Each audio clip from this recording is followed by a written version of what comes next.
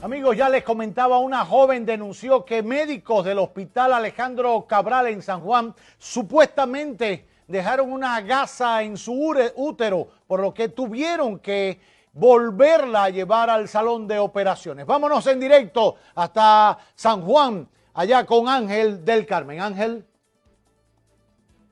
Gracias, muy buenas noches. Jenny Paola de los Santos, de 21 años de edad, dijo sentirse conmovida y adolorida al saber que no podrá concebir más hijos. Bueno, me dejaron una gasta, yo parí el 18 de septiembre a las 11 de la mañana. Me mandaron para mi casa a mi esposo, era que era que estaba aquí conmigo. No le dijeron ni que me dejaron nada adentro, ni nada por el estilo. No le dijeron de que tenía nada, ni a mí tampoco.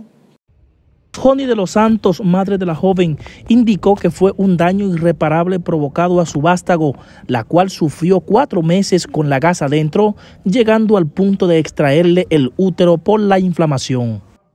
Yo me siento muy mal porque mi niña, con 21 años,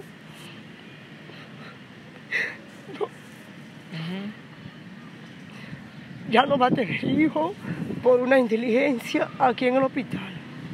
A mi hija le dejaron una casa, ella parió normal, le dejaron una casa adentro, un descuido del hospital. Le soltó a las autoridades que ya yo no puedo tener hijo, por eso que me sacaron tan joven así como yo, con 21 años. De acuerdo con la versión de los denunciantes, en ese entonces fungía como director del centro de salud el cuestionado médico por no tener ese cuatur, César Benzán Quiterio. Es toda la información. Vuelvo contigo. Gracias, muchísimas gracias a Ángel del Carmen.